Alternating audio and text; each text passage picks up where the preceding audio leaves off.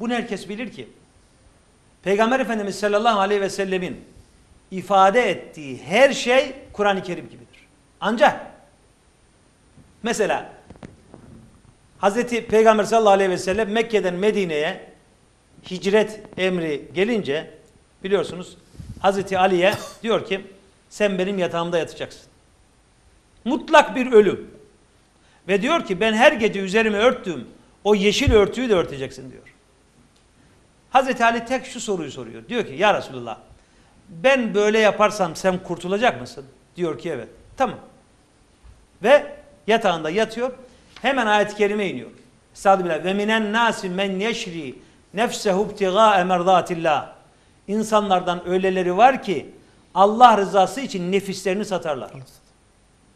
Muaviye tuttu bir adam. Bir sürü para verdi. Bu ayetin Muaviye hakkında indiği ile ilgili hadisler uydurdu.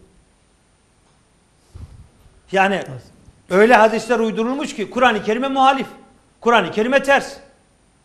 Ya ben soruyorum. Kur'an-ı Kerim'e ters bir hadis olabilir mi?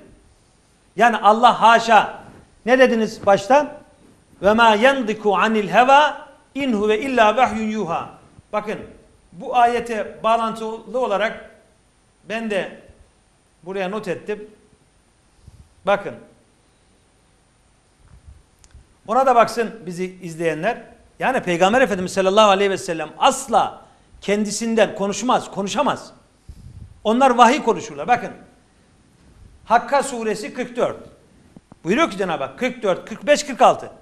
Velev tekavvele peygamber uydurmuş olsaydı aleyna bizim hakkımızda bazı kabil bazı sözler le ehadna biz onu tutardık minhu bil yemin sağ elinden tutardık.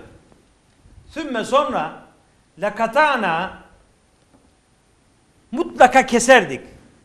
Minhul vetin onun şah damarını.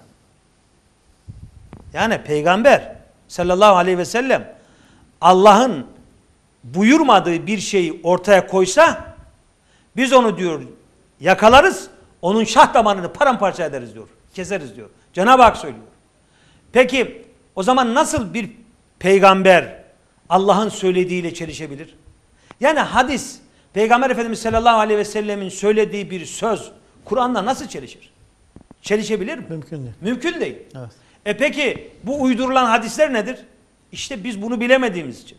Gerçekten bu hadis Peygamber Efendimiz sallallahu aleyhi ve sellemin söylediği bir söz müdür? Bunu bilemediğimiz için Kur'an'a ters düşüyorsa diyoruz ki kusura bakma.